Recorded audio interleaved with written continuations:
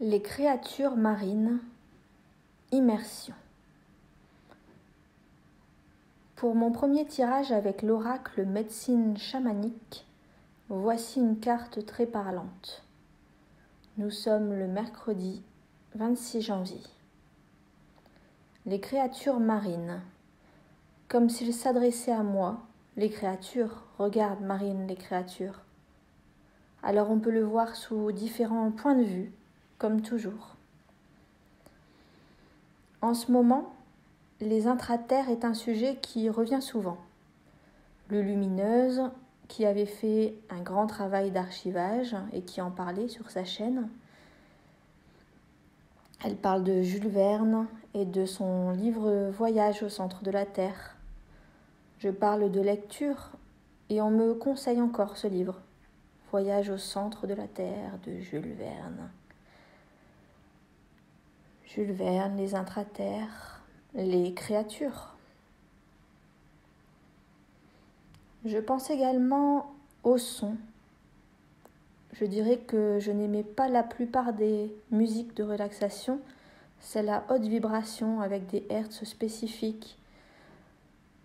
Par contre, le bruit des fonds marins m'attire, me font sombrer, peut-être à cause de mon prénom. Et l'on en vient au cœur du problème, si je puis dire, à mon cœur, mon vague à l'âme. Vague à l'âme et créature marine.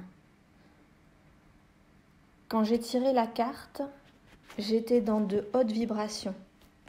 J'ai pris le flot, j'ai pris la vague, j'ai plongé tête la première dans mes projets, dans mes objectifs, dans mes rêves. Mon cœur s'est ouvert grand.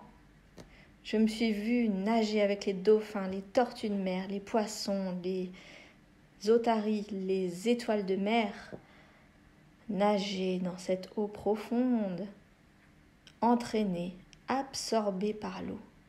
Vous savez cette sensation d'être légère, soutenu par l'eau, de couler, mais avec volupté, allégresse, les cheveux en apesanteur, les mouvements lents, retenus, le bien-être par excellence. Suis-je un humain? Suis-je une sirène? Au fur et à mesure, je coule, descends dans ce bien-être, le vague à l'âme, l'âme fragile peut-être. J'aperçois des requins. Alors oui, ce sont des menaces pour moi peut-être. Mais comme j'aime les requins, est-ce que le requin pourrait être mon animal totem? Je ne sais pas.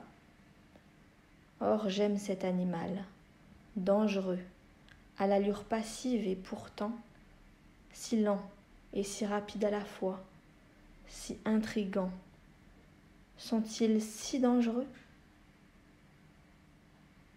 Pas vraiment si on les compare à l'homme. Mais oui. Mais où veux-tu en venir avec ces créatures? Marine, aux dangers qui n'en sont pas.